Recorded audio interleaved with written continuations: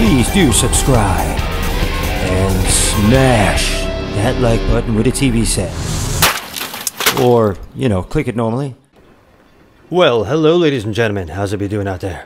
Jim has been back here with another Monster Hunter World tip. So what you want to do is always eat before missions. Always eat before you go out for a quest or anything.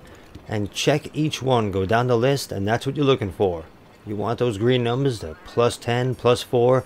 You want to get some extra stuff on there. So it does change each time, so definitely do go down and look at those kitties cook.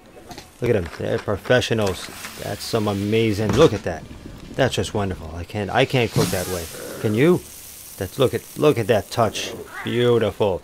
This is going to help you get some stamina boost, get a few different boosts before you take on that large monster and get slayed by it. You want to get anything extra you can, so always, always eat before you go out. See, you get some boost there, your palico gets a boost. Everybody wins. So head on out there. So thank you, ladies and gentlemen, for joining in. This has been GymHasafit. If you want more Monster Hunter World tips, stick around. I'm going to be putting out plenty more.